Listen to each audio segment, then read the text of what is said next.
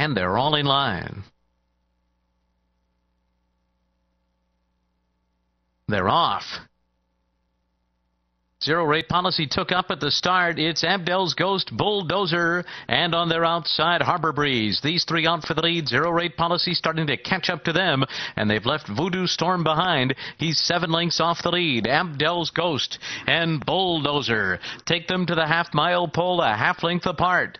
And Harbor Breeze is just off of them. Then Zero Rate Policy with four to make up and Voodoo Storm. 22 and 2 was the first quarter.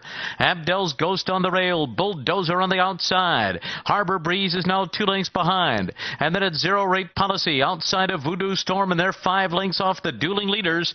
Bulldozer and Abdel's Ghost who continue to go head and head up front.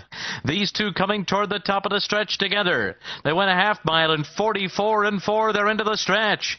And it's Abdel's Ghost still locked in battle with Bulldozer. Bulldozer's on the outside, and Abdel's Ghost keeps on fighting at the rail. The others have not caught up to them. It is Bulldozer in front from Abdel's Ghost, who will be second best to Bulldozer, who pulls away in the end.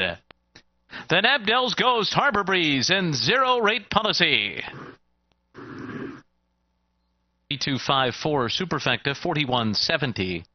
The double to 4 and 3, 1280. And the pick 3, 3, 4 and 3, 2780. Coming up next is race 4. Daily double exacta trifecta, superfecta, bet 3, and 10 cent rainbow 6 wagering. The rainbow 6 has a carryover of just over $7,000. In the fourth race, scratch 1A, Brickyard Kitten, and 13 Big Sam.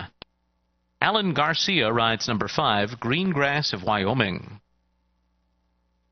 In the fifth race, scratch the 8, Henny's Hurricane. In the sixth, scratch the also eligibles 13 through 16. In the seventh, scratch the one, work and flirt. Race eight, scratch number six, Marford Missile. And in race nine, scratch numbers 11, 14, 15, and 16. The jockey for 13, Cantera, Joe Bravo.